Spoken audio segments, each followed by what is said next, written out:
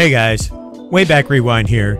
Today I'm going to show you some sample footage of my Canon XL H1S. I took it to Houston's Hobby Airport to shoot some real world footage of what it looks like as a tapeless all digital system and I used the Atomos Samurai Blade digital recorder to record this footage. Coming up next, here on Wayback Rewind.